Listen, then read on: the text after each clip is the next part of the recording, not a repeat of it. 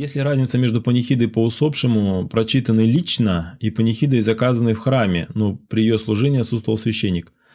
Жертва на церковь – это понятно, но тогда возникает сомнение, а все ли правильно, что делается в церкви? Я вас уверяю, не все правильно, что делается в церкви. Вот это, это сразу, вот, не все правильно. Абсолютно не все.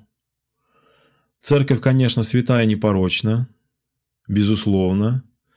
Но э, следует различать церковь как э, некое мистическое тело Христова, как нечто э, божественное, и церковь как организацию земную вполне себе. Вот. Так вот, э, мистическое тело Христова, церковь, она святая непорочна, да. Но она, часть ее находится, так сказать, на земле, условно, вот. И э, вот эта земная ее часть, она как каким-то образом структурирована, организована в некую организацию религиозную, которая ну, в нашем случае называется Русская Православная Церковь. Вот, ну, не, не, я имею в виду не греческая, там, не Константинопольская, не Иерусалимская, а вот именно русская православная церковь, понятно, да? Вот. Э, и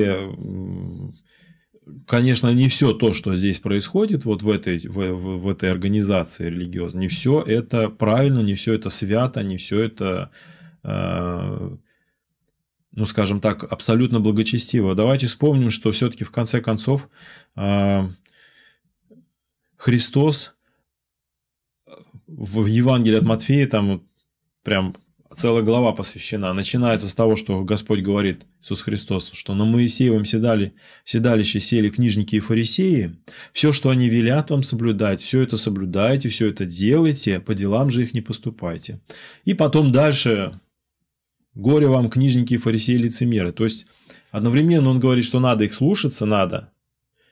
Да, Потому что на тот момент они как бы были вот той религиозной структурой официальной, так сказать, вот вот они тогда были. А потом он их там разносит э, и в том, и в том, и в том упрекает. Я думаю, что все то, что говорил Христос тогда фарисеям и книжникам, все это в какой-то степени, может быть, в большой даже степени применим, применимо и к нам тоже, как к организации. Поэтому, естественно, не все то, что делается в церкви, не все это правильно. Ну, а теперь ответ на ваш вопрос.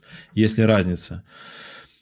Я не знаю подробности. Дело в том, что если священник не был на панихиде, но он был в начале, например, потом в конце подошел, в серединку там еще подходил, вообще отсутствовал, то, ну, в принципе, я думаю, что э, такое может быть. Я сам, например, так тоже делал.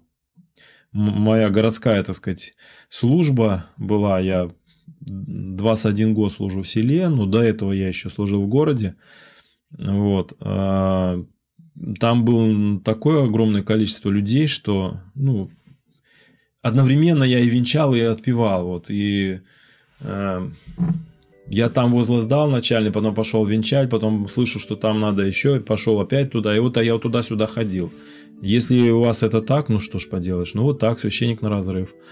Если же священника вообще не было, то, ну, наверное, разница очень-очень, очень-очень незначительная.